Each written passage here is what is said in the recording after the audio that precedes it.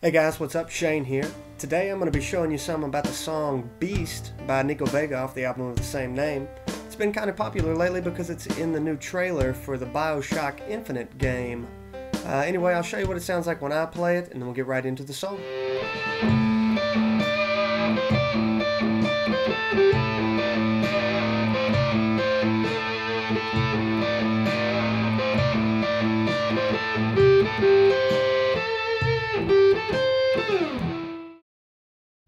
This song is actually quite simple, and the one main riff you hear plays throughout the majority of the song. You'll want to know your A minor pentatonic scale in the first position. If you don't, go ahead and look that up now. What we'll be using primarily is our open fifth string, the A, ringing open as a pedal tone. We'll also be using notes D and C rooted on our third string, and then the A rooted on the fourth string there at the seventh fret. So, we'll let our open A string ring out as a pedal tone.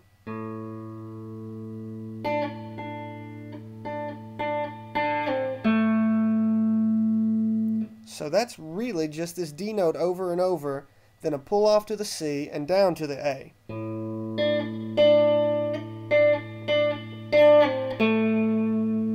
Then we'll hit the low A again.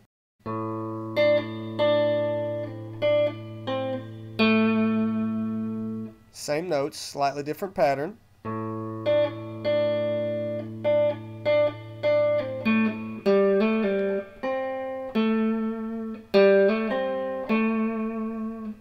Okay, that right there will be this G, hammer on to an A, up to your C, down to your A. Second one, same note, slightly different. That's really the majority of it. Now, what you often, what you're hearing in the song is bass and guitar. So if you're playing this on guitar by yourself, the hardest part is going to be able, uh, is going to be being able to let that open A string ring the majority of the time because that's going to make it sound fuller, like you're doing more.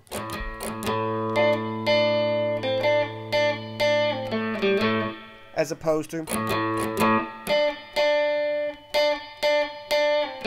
You see how it's not as full, it doesn't have that deep quality that you're hearing in the song. Now, also, to get that very high pitched uh, version, he's doing the exact same thing, except we're moving everything up an octave. So instead of being between the 5th and the 7th fret there, will be between the 17th and the 19th.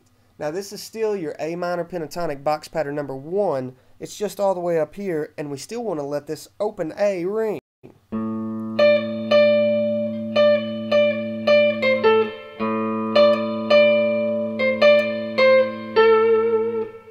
Since we've moved it up an octave, the pattern is going to stay exactly the same.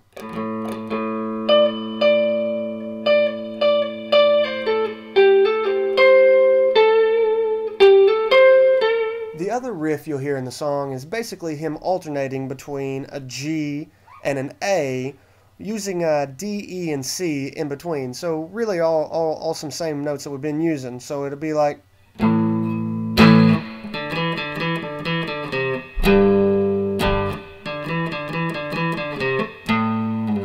Okay, so it's really just A to G and back and forth. What you're doing in between there, rooted on your fifth string between the fifth and seventh frets,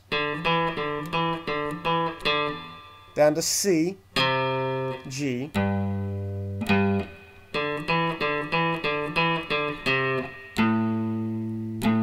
to the A there. You can also play those same notes an octave up, so.